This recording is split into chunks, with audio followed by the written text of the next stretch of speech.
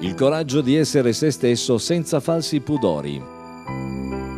Poeta dei suoi sogni e dei suoi sentimenti, lasciati in dono a tutti coloro che con lui vorranno gioire dei molteplici momenti colorati della sua esistenza, ricordata con l'insolito, ma non per questo meno apprezzabile, modo di avvicinare la gente in strada. Mancherà a noi come mancherà a Clusone la sua camminata, il suo sorriso, la sua marcata timidezza, spesso celata da una innaturale spavalderia. Il mio spirito è finalmente libero, era solito ripetere Marco Scandella per tutti Marcù, deceduto nella serata di mercoledì a seguito di una malattia. Una libertà la sua che con sempre maggiore difficoltà riusciva a ritagliarsi e che troppo spesso lo etichettava ingiustamente quando ho visto il manifesto e ho sentito della sua morte veramente mi si è stretto il cuore. Sono appena andato a vederlo lì alla, alla, nella chiesa di San Difendente.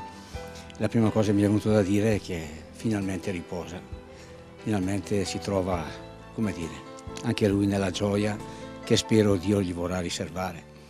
Mi auguro che tutti abbiano questi pensieri di amicizia, di fraternità nei confronti di questo, di questo ragazzo che ha fatto parte comunque della nostra comunità.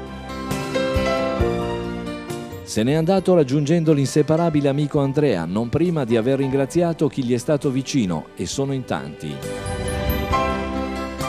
Prima del suo ultimo cammino verso la meta certa si scusa e lo fa con tutti coloro a cui ha recato fastidio, gli stessi che oggi lo sentono già troppo lontano.